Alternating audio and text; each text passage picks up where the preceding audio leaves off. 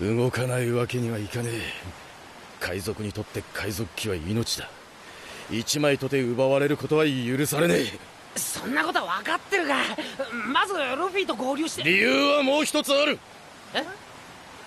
おめえらこんなミスしてあの船長に叱られたいか！ま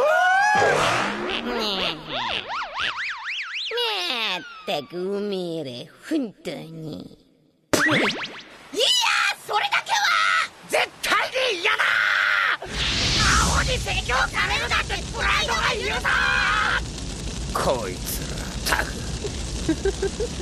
よし行くぞ